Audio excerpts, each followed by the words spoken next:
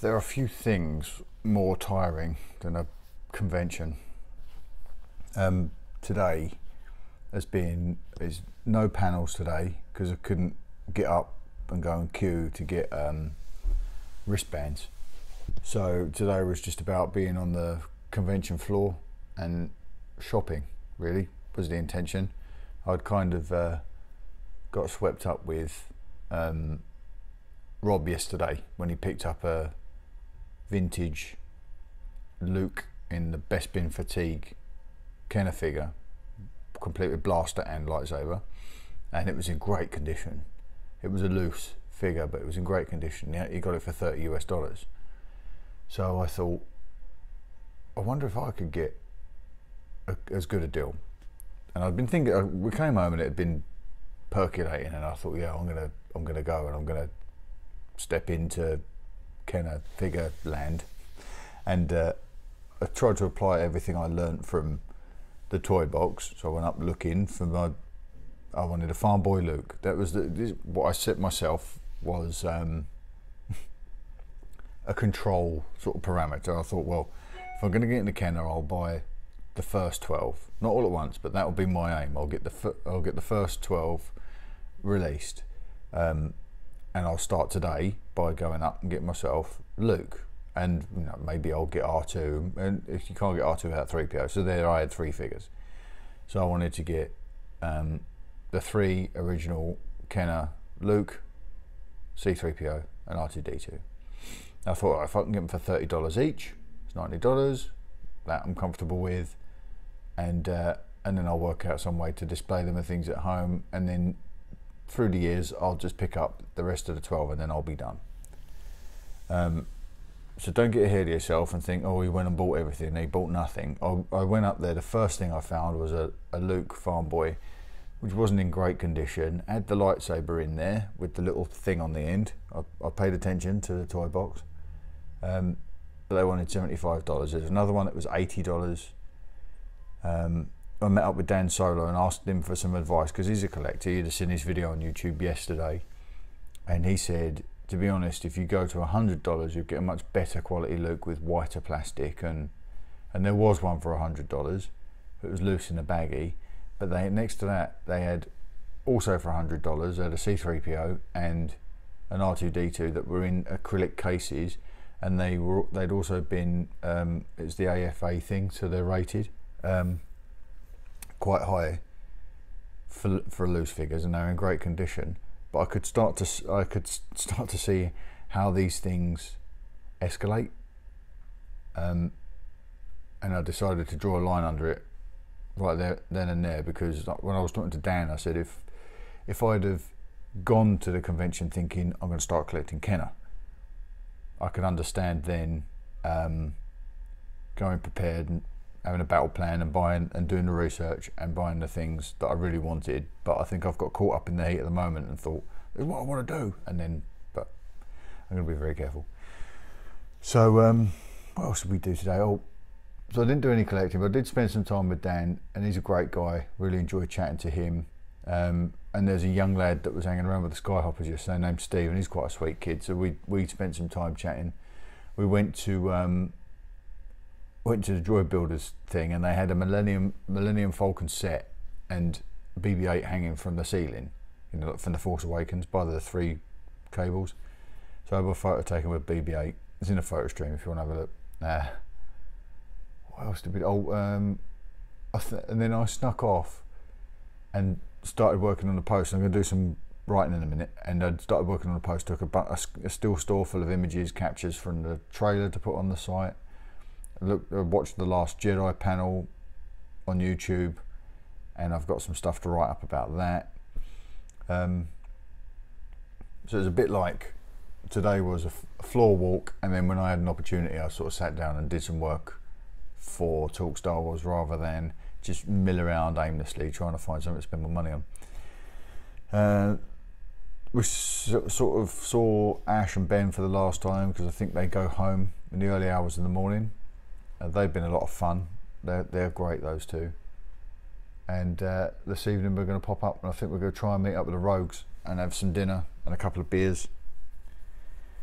And then I can't decide what to do about tomorrow because I really want to go to the closing ceremony. But I'm going to have to get up there dead early if I want to do the closing ceremony tomorrow. Get the wristband and then even possibly even come away and go back up much later. Or spend all day just kind of milling around to kill some time. I don't really know what to do there. I guess I could just do what I've done with the rest of these panels, just watch them on YouTube later.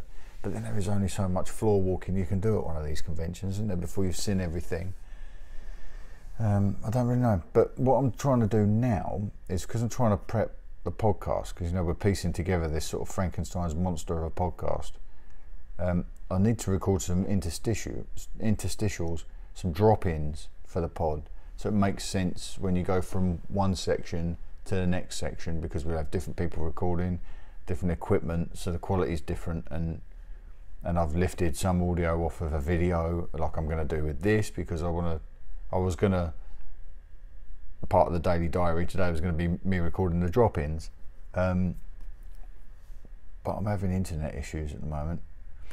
Speeds aren't very good here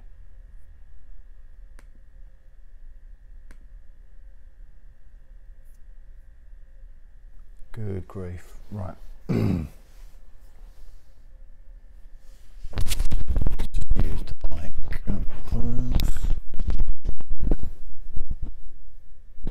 Hi everyone, it's Mark. Uh, the next clip you're going to hear is uh, lifted off of a video that Rob and I recorded as part of the day one breakdown. It's a recap of what we've been up to during the day. Um, so the audio seems a little bit different to usual. We're mic'd up differently. We were just about to record the uh, TSW Comics issue one. Um, so this is Rob and I on day one, uh, recapping our day. Hey everyone, it's Mark again.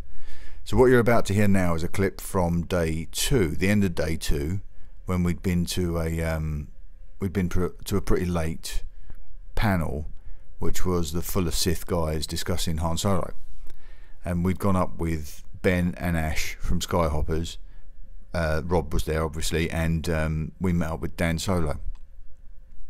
So we decided we'd get together in a corridor somewhere and record um, just a brief recap on what we've been up to that day. Uh, did a little bit of a roundtable, not not Rob's well structured roundtable, but a uh, casual little roundtable look at our day, which included Dan Solo, who at this point was basically a zombie because all he'd done is stay awake eating Pringles, queuing up for things. Um, so this is a recap, a bit of a Commonwealth recap of the con day two. Right, okay, so I'll just pull that, I'm just going to pull that audio off of this video and then I can drop that in and it'll make sense on the podcast. I do miss my Yeti. This, look at this tiny little thing. Weird.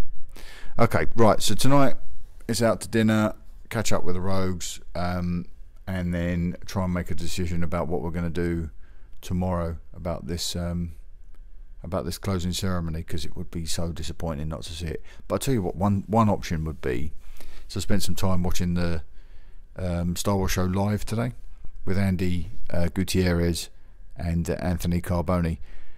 Really, there's a really great. You should have seen Andi Gutierrez firing a t-shirt cannon into. Oh, maybe you did. It was on YouTube, but she was firing a t-shirt cannon into a crowd. That was brilliant. She nearly took out that Tie fighter with a t-shirt cannon. Um, so, what I could do, I guess, is spend the closing ceremony there, watching it on their big screen with their audio. That's one possibility. Anyway, I'm going to go and do some editing and hopefully do some writing. And what you might get later on is a little thing from Rob and myself, just capping off day three. A little video capping off day three. Okay, right. I'll see you later. Let's talk about Loot Crate. Are you on a quest for epic gear, housewares, and collectibles? Loot Crate offers an epic range of pop culture items for less than $20 per month. Whether you're shopping for the geek in your life or you are that geek, Loot Crate is the best surprise you know is coming. Every month there's a different theme and new and exclusive items that you can only get with Loot Crate. Treat yourself every month or give the gift of geeking out to a friend or a loved one. You have until the 19th at 9pm Pacific to subscribe and receive that month's crate, and when the cut-off happens, that's it, it's over. Make sure to head to lootcrate.com forward slash talk Star Wars and enter the code talk Star Wars and save $3 off your new subscription today.